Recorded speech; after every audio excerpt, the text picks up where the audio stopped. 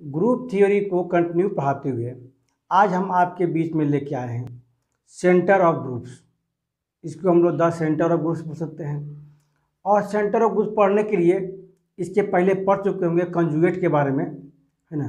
तो कुछ ऐसे एलिमेंट जो सेल्फ कंजुगेट हो, उसी को हम लोग सेंटर ऑफ़ ग्रुप बोलते हैं। कैसे बोलते हैं? देखिए, आज पूरा एनालिसिस करते हैं with example lecture forty seven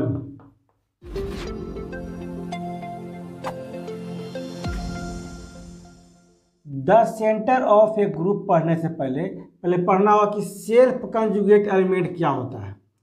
तो सेल्फ कंजुगेट का मतलब हो गया कि an element a belong to G is set to be self conjugate of किसका ए बिलोंग टू जी है यही कहलाएगा क्या? सेल्फ कंजुगेट कहलाएगा। If a is the only member of the class C a जो पिछले क्लास में, है ना, क्लास ए के बारे में बताया गया था of element conjugate to a चाहे of an element conjugate to a चाहे of elements conjugate to a एक के जितने कंजुगेट एलिमेंट होगा, वही कहलाएगा सेल्फ कंजुगेट जैसे मान लें क्या कि दज a is a self conjugate if and only if a बराबर क्या होगा? Self conjugate x inverse a x for all x belong to G जैसे इसके पहले बताए थे हम इक्वालेंस रिलेशन के बारे में। तो क्या था? उसमें देखे हुए कि रिफ्लेक्सिव बताए थे। रिफ्लेक्सिव क्या बताए थे? कि ए जो है, अपने आप का क्या हुआ? सेल्फ कंजुगेट हो सकता है। तो if and one if a बराबर क्या होना चाहिए? एक्स इन्वर्स ए एक्स तो ये क्या हो गया? Self conjugate for all x belong to G S का पूरा पूरा एलिमेंट कहाँ उठाएँगे? जी से उठाएँगे। दैट इज़ सी ए बराबर क्या होना चाहिए? सेट ए यानी कि एक ऐसा एलिमेंट्स कंजुगेट का तैयार हो जाएगा सी ए है ना? जो अपने आप क्या लाएगा वो सेल्फ कंजुगेट कहलाएगा। इसमें दो गो इंपॉर्टेंट कंडीशन है कि the transform of a by every element of G remains equal to a a के ही बराबर होगा इससे सी बराबर कितना? ए सी बराबर कितना होगा? बी है ना? ऐसा होगा ट्रांसफ़र करने के बाद। तो सेल्फ कंजुगेट कहलाता है। और ये self conjugate element is also called an invariant element invariant element मतलब क्या बहुत जगह लिखा रहता है बुक में इन्वेरिएंट एलिमेंट तो वो क्या होता है? एक सेल्फ कंजुगेट को ही बोलते हैं हम लोग इन्वेरिएंट एलिमेंट ये सब पॉइंट लिखवाने का मेन कारण क्या है? कि बहुत ऑथर जो किताब अलग अलग लिखता है है ना? तो कहीं इसका वर्ड को यूज़ किया इन्वेरिएंट एलिमेंट को तो आप कन्फ्यूज़न कन्फ्यूज़ न करें, क्योंकि वह क्या है? सेल्फ कंजुगेट को ही बोला गया है। अभी समझ गए सेल्फ कंजुगेट अब देखते हैं कि द सेंटर ऑफ़ ग्रुप क्या है। तो ऐसा सेट तैयार किया जाएगा जो अपने आप में क्या हो, एक सेल्फ कंजुगेट हो, उसी को बोलेंगे सेंटर ऑल पॉइंट्स मतलब ऑल जितना जो रहेगा, है ना, एक पॉइंट ऐसा रहेगा जिसका लेफ़्ट और राइट करने के बाद कोई अंतर नहीं पड़ता हो, यानी इक्वल होता हो, उसी को बोलेंगे, है ना सेंटर आपका the centre of a group.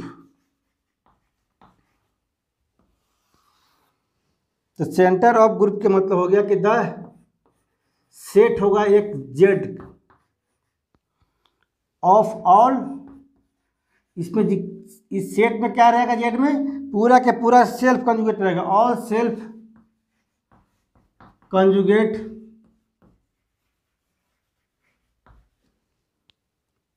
conjugate elements conjugate elements of a group G is called the centre of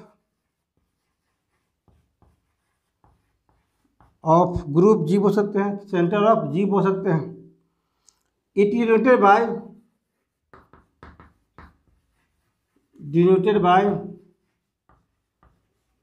Z या जेड जी से भी रिप्रेजेंट करते हैं हम लोग। इसका कैसे रिप्रेजेंट करते हैं? तो एक सेट तैयार कर देंगे हम लोग, है ना? जैसे जेड बराबर, एक एलिमेंट उठाया जाएगा जेड से ही, वह क्या है? बिलोंग टू जेड नहीं belong to G such that x Z क्या जेड एक्स जो लिखिए आप है ना? Z x equal to x Z for all x belong to G इसी को बोलेंगे हम लोग। इस सेट को क्या बोलेंगे? सेंटर ऑफ़ ग्रुप बोलेंगे। जैसे अभी पढ़े थे हम लोग सेल्फ के लिए। तो ए बराबर क्या था? एक्स इन्वर्स ए एक्स था। सेल्फ कंजुगेट था यह। अब मान लीजिए कि दोनों तरफ़ एक्स से मल्टीप्लाई किया जाए एक्स ए बराबर कितना हो जाएगा? X into x inverse a x x a बराबर कितना तैयार हो गया? एक्स एक्स इन्वर्स क्या बनेगा आई टी बन जाएगा तो क्या तैयार हो गया मेरा? ए एक्स तो ये क्या बन गया? एक सेट तैयार हुआ है भी। तो क्या हो गया?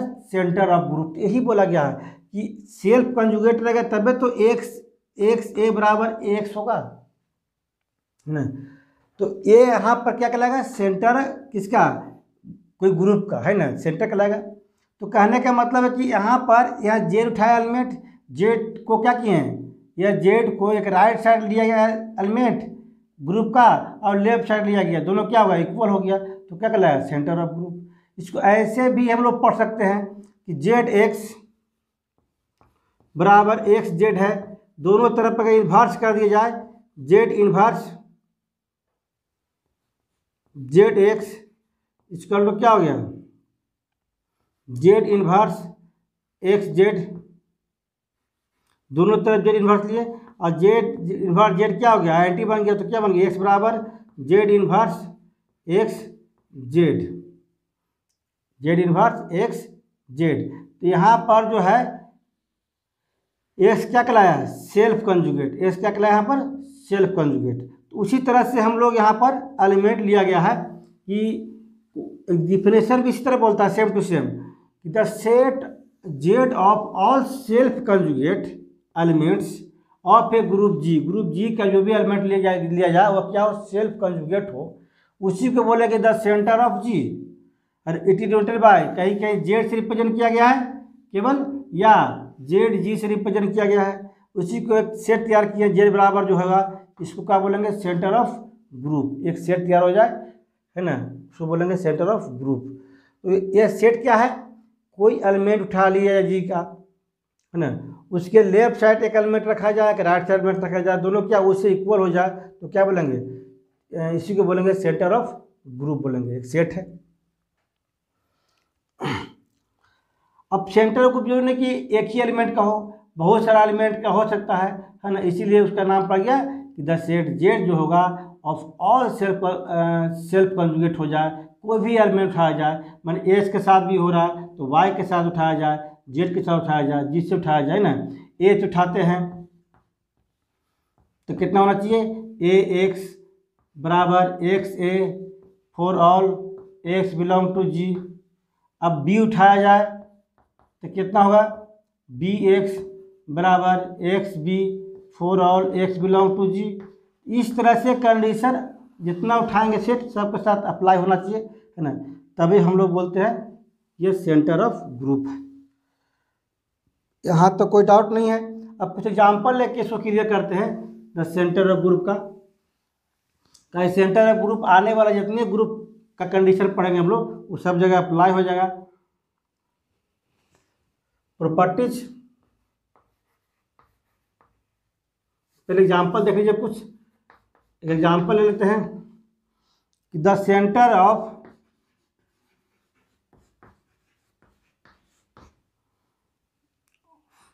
any group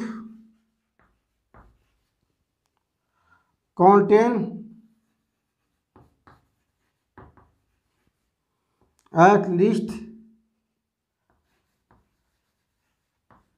one element कम से कम एक एलिमेंट ऐसा रहेगा, है ना, जो उसका सेंटर को शो करेगा। जैसे मान लीजिए कि आइडेंटिटी एलिमेंट तो आइडेंटिटी एलिमेंट को कैसे भी किया जाए, कोई भी एलिमेंट के साथ वह सेंटर कहलाएगा ही कहलाएगा है ना? क्योंकि हम लोग आइडेंटिटी एलिमेंट के बारे में पढ़ चुके हैं।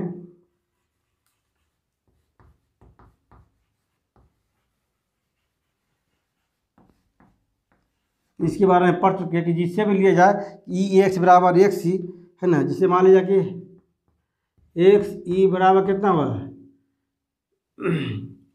E x for all x belong to G, जिससे भी उठाया जाए। वो क्या हुआ? एक्स के ही बराबर होता है ना? आप हमेशा क्या हुआ? इक्वल ही दोनों होगा आपका, है ना? यूनिक ही होगा। यानी कि इसीलिए उसको बोलेंगे कि सेंटर ऑफ़ एनी ग्रुप कोई भी ग्रुप लिया जाए तो कम से कम कम से कम एक ज़रूर आपका वो एलिमेंट ऐसा होगा जो सेंटर ऑफ़ ग्रुप कहलाएगा। तो the centre of any group contain at least one element that is I element को बोलते हैं। दूसरा नंबर लेते हैं। If G is an abelian group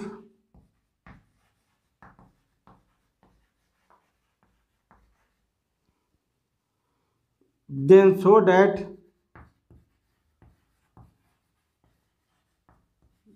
Z G ये पहले ही पढ़ चुके हैं, है ना? नॉमराज वगैरह के साथ यही प्रॉब्लम सेम प्रॉब्लम था कि अगर बेरियन है तो जेड जी बराबर कितना होगा? जी ही होगा आपका, है ना? तो क्यों होता है? जैसे इसका सोल्यूशन आसान क्या है कि वी नो डैट जो भी सेंटर लेते हैं हम लोग तो पूरा का पूरा क्या करता है? कॉन्टेंट करता है ना? सब छुट होता किसका? जी का ही होता है। जी से उठाते हैं जी में लेते हैं सेंटर है ना? जी से उठाते हैं एलिमेंट जी का ही सेंटर निकालते हैं तो इसलिए क्या होता है? जेड जी जो पूरा पूरा क्या हुआ? कॉन्टेंट करेगा किसको? जी को ही, चाहे जेड जी सब छुट किसका? जी का ही। तो लेट हम लोग मान लेते हैं कि कोई एलिमेंट एक्स लेते हैं अब बिलोंग टू जी है है ना? तो चूँकि जी इज़ एवेलियन है जी क्या दिया हुआ है? अवेलियन दिया हुआ है। तो अवेलियन के लिए कंडीशन लोग मालूम है, क्या होता है? एक्स वाई बराबर वाई एक्स फोर ऑल कितना होगा? वाई बिलोंग टू जी एक एलिमेंट उठाएँ एक्स उसके साथ राइट साइड मल्टीप्लाई करें, या लेफ़्ट साइड करें ना? और वो एलिमेंट क्या होना चाहिए? जी का ही होना चाहिए। तो क्या बोलेंगे? दोनों इक्वल हो जाए। तो क्या बोलेंगे? अवेलियन बोलेंगे। अगर अवेलियन है तब हम लोग क्या लिखते रहते हैं? Z belong x belong to G या एक्स क्या है? सेंटर में भी बिलोंग करेगा। एक्स क्या है? सेंटर भी है इसका वाई के लिए। इसे क्या बोलेंगे यहाँ पर? एक्स वाई बराबर वाई एक्स एक कॉन्टेंट करेगा, है ना? एक्स बिलोंग टू जी के लिए तो एक सेट तैयार होगा किसका ही? सेंटर का। यानी कि एक्स बिलोंग टू क्या हुआ? जेड जी हो जाएगा। कंडीशन किसका है? सेंटर ऑफ़ ग्रुप का है। इसलिए एक्स बिलोंग टू जी तो एक्स बिलोंग टू कितना हुआ? जेड जी आ गया आपका। एबेलियन लेने के बाद, है ना? तो हम लोग कह सकते हैं कि जी भी पूरा क्या कर रहा है? कॉन्टेंट कर रहा है किसका? जेड जी को। जिस तरह से जेड जी जो है कॉन्टेंट कर रहा है किसको? जी को। उस तरह जी कॉन्टेंट कर रहा है जेड जी को। तो जी कॉन्टेंट कर रहा किसको? जेड जी को मैंने पूरा पूरा सबसेट है जो एलिमेंट दिया जी के साथ, वही एलिमेंट आया जेड जी के साथ। सबसेट हो गया। चाहे कॉन्टेंट बोलिए, जो बोलिए आप। टू हो गया। तो फ्रॉम वन एंड टू से वी गेट देखा जाए वन और टू से क्या हुआ? कि पहले ही पढ़े थे सेट थ्योरी में कि अगर ए काउंटेंट करेगा बी को एंड बी काउंटेंट करेगा ए को इसका मतलब होता है कि दोनों आपस में बराबर है। दोनों आपस में क्या है? इक्वल है। यदि कितना हो गया है? वी गेट जेड जी बराबर कितना हो जाएगा? जी के बराबर हो जाएगा। यही प्रूफ करना था आपका। तो कुछ किए हम लोग नहीं केवल कंडीशन ले लेते हैं, बस। अब बोले जेड जी सबसे चाहे कॉन्टेंट कह रहा है जी को क्यों? क्योंकि जो भी सेंटर का एलिमेंट होता है सेंटर में लेते हैं वह ग्रुप से ही एलिमेंट उठाते हैं, है ना? और एक लेफ़्ट एक राइट किया जाता है, और दोनों क्या होता है? इक्वल होता है। तो एक तरह से वो क्या हो गया? एलियन नहीं तो हुआ।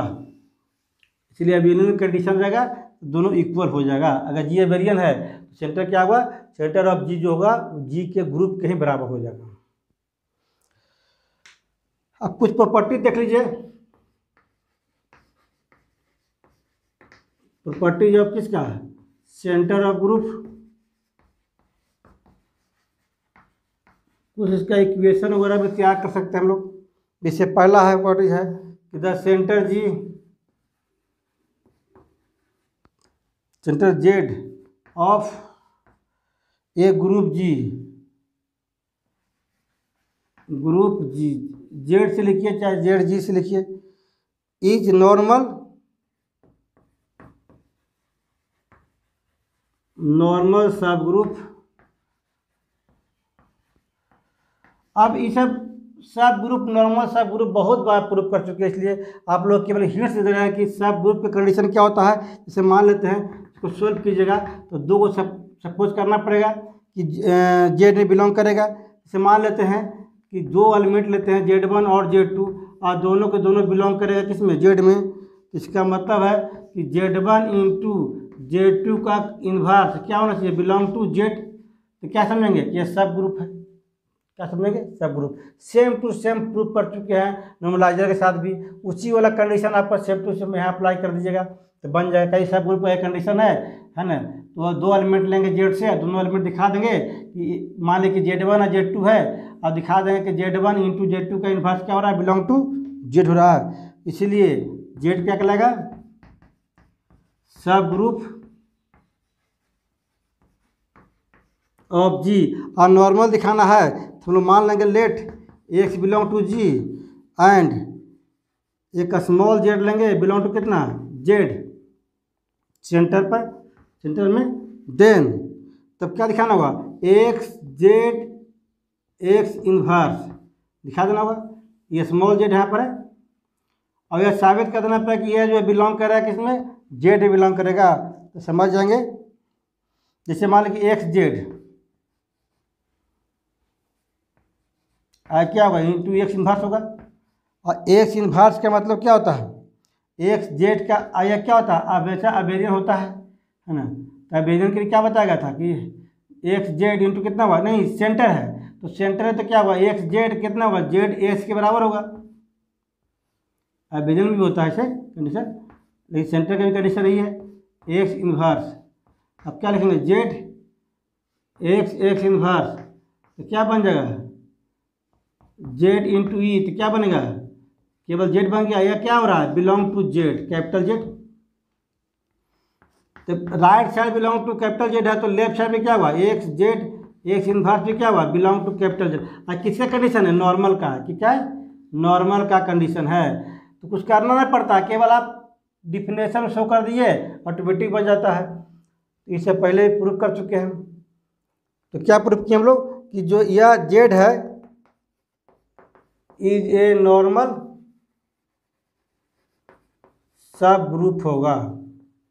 इसी तरह से प्रॉपर्टीज़ को यूज़ करके इसको प्रूफ कर लीजिएगा। एक सब ग्रुप दिखा दीजिएगा इतना, और एक नॉर्मल दिखा दीजिएगा। तो क्या बन गया? नॉर्मल सब ग्रुप बन जाएगा।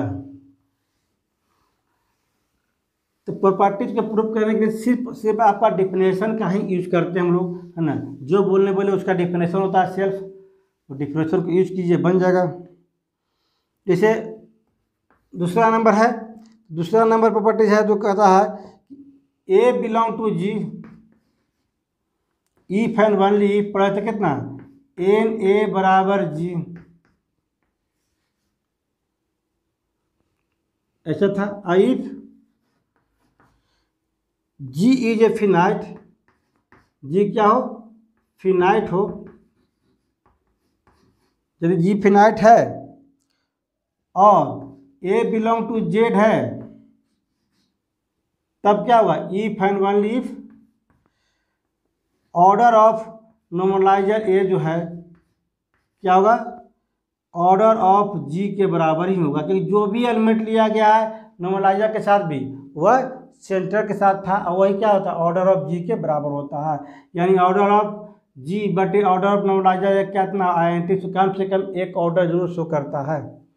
डिवाइड करने के बाद इस तरह से ऑर्डर ऑफ़ जी और ऑर्डर ऑफ़ नॉर्मलाइजर ए है ना? कम से कम एक आई आई एन टी क्या करता है? कम से कम एक शो करता है। One I N T show करता ही करता है। जो पहले पढ़े हुए थे। एक एलिमेंट कम से कम ऐसा होगा जो सेंटर में बिलोंग करेगा अब तीसरा नंबर है if G is a finite group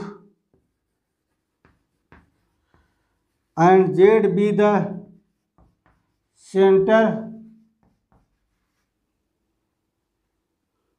center of G then the class equation class equation पहले भी लिखवा चुके हैं class equation of G as कितना? ऑर्डर ऑफ़ जी बराबर ऑर्डर ऑफ़ जी बराबर कितना? Order of Z plus summation of a not belong to Z order of G बटे ऑर्डर ऑफ़ नॉर्मलाइजर ए देखिए, यह शो जो करता क्या है? पहले जो हम लोग पढ़े थे, वो क्या था कि ऑर्डर ऑफ़ जी जो था ऑर्डर ऑफ़ जी जो था, वो क्या था? पूरा मिला के था आपका कितना? जी बराबर था जैसे समेसन था, कितना था? ऑर्डर ऑफ़ सी ए था। ऑर्डर ऑफ़ सी ए था। ए बिलोंग टू था। अब फिर इसमें क्या है? Summation of a belong to G इसका मन क्या क्या था ऑर्डर ऑफ़ जी बटे ऑर्डर ऑफ़ नॉर्मलाइजर ए जैसे इस तरह करेंगे तो एक आई शो करेगा, है ना? तो हम लोग ऑर्डर जो है इतना तो लेंगे ही, कितना? ऑर्डर ऑफ़ जेड के बराबर है, क्योंकि ऑर्डर ऑफ़ जेड में बताया गया था कम से कम एक लिस्ट एलिमेंट जो है देगा ही देगा, है ना? कोई भी ग्रुप में। तो यहाँ एक दो दे दिया, एक जब दे दिया ऑर्डर ऑफ़ जेड तो दोबारा में क्या हुआ? बिलोंग नहीं करेगा। दोबारा में क्या हुआ? Summation of a not belong to Z order of G बटे ऑर्डर ऑफ़ नॉर्मलाइजर ए है ना? और यहाँ पर कम से कम एक देगा ही देगा। इसके माध्यम से, किसी माध्यम से? इस प्रॉपर्टीज़ को अप्लाई कर देंगे कि ऑर्डर ऑफ़ एन ए बराबर ऑर्डर ऑफ़ जी तो ऑर्डर ऑफ़ जी बटे कितना हुआ ऑर्डर ऑफ़ एन ए तो क्या गया? आई एन टी बन जाएगा आपका। आई एन टी क्या देता है? ये कम से कम एक एलिमेंट होता है जो सेंटर को शो करता है आपका। कम से कम एक सेंटर ऑफ़ ग्रुप जो होता है एट लीस्ट वन मेंबर होता ही होता है, एक एलिमेंट होता है, सबके साथ। इसीलिए पूरा ऑर्डर ऑफ़ निकालने के लिए, है ना, इस, है ना, इसको ऐसे ना लिख करके पूरा इस तरह से भी हम लोग ऑर्डर निकालेंगे। आ ये भी हम लोग यूज़ करेंगे, आगे चल के बहुत सारा थ्योरम में, है ना, क्योंकि ऑर्डर जान गए तो अबेरियन जान गए कम्यूटेटिव जान गए तो आप कोई भी प्रॉपर्टी या कंडीशन थ्योरम को प्रूफ आगे करेंगे। चलो थ्योरम अगर पढ़ेंगे तो इसे भी क्वेश्चन के हम लोग यूज़ करना पड़ेगा। कुछ एडवांस थ्योरम पढ़ेंगे, जो अभी तो जो थ्योरम पढ़े तो उसमें क्या होता है कि एक अप्लाइड थ्योरम होता है, एक प्योर थ्योरम होता है। तो जो अप्लाई होता है, क्या करते हैं? अप्लाई करते हैं प्योर थ्योरम बनाएँगे उसके उसके ऊपर। तो नेक्स्ट क्लास आने वाला क्लास में आपको, है ना, ये सब थ्योरम का यूज़ होते रहेगा, है ना। इसीलिए हम प्रॉपर्टी लिखवा दिए, ताकि कन्फ्यूज़न नहीं हो। यह क्या क्लास इक्वेशन था? शॉर्ट टास्क में भी हमेशा आते रहता है सब। तो अभी तक जो पढ़े थे कंजुगेट के बारे में और इसका प्रॉपर्टीज़ वगैरह सेंटर के बारे में पढ़े अपने, अब यहाँ के बाद हम लोग क्या करेंगे? कुछ क्वेश्चन बहुत लोग के कहना था कुछ क्वेश्चन बताया जाए इस पर, है ना? तो नेक्स्ट क्लास में मिलेंगे, इससे कुछ ऑब्जेक्टिव क्वेश्चन को लेकर के।